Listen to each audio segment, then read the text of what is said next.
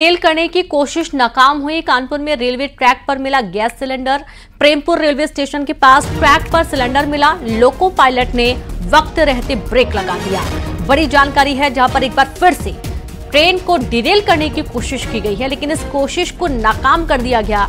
कानपुर में rail Daryl करने की कोशिश नाकाम हुई है। कानपुर में रेलवे ट्रैक पर मिला gas cylinder.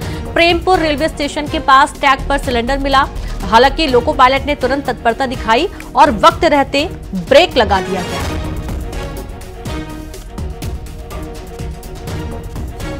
और अब आपको कुछ तस्वीरें भी हम दिखाने जा रहे हैं। आप ये देखिए, जब एक सिलेंडर पाया गया रेलवे ट्रैक पर और ऐसी तस्वीरें देखिए, आप पहले भी आ चुकी क्यों इस तरीके की घटनाओं को लोग अंजाम देने की कोशिश करते हैं? एक बहुत बड़ा सवाल है।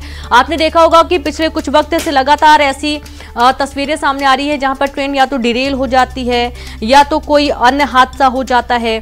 और इन तस्वीरों के सामने आने के बाद से ये समझ में आ रहा है कि कोई ना कोई ऐसे आपराधिक तत्व के लोग हैं जो कि इस तरीके की घटनाओं को बढ़ावा देने की कोशिश करते हैं। हालाँकि इस पूरे घटनाक्रम को सामने आने के बाद तुरंत लोको पायलट ने यहाँ पर ब्रेक लगा दिया और एक बड़ी घटना होते होते बची। बाल बाल लोगों की जान बची। कानपुर का ये पूरा घटनाक्रम है। एक्सक्लूसिव तस्वीरें आप देखिए एक बार। जहाँ पर रेल डिरेल करने की कोशिश नाकाम हुई है। कानपुर में रेलवे ट्रैक पर गैस सिलेंडर मिला है और प्रेमपुर रेलवे स्टेशन के पास ट्रैक पर सिलेंडर मिला लोको पायलट ने वक्त रहते ब्रेक लगा दिया।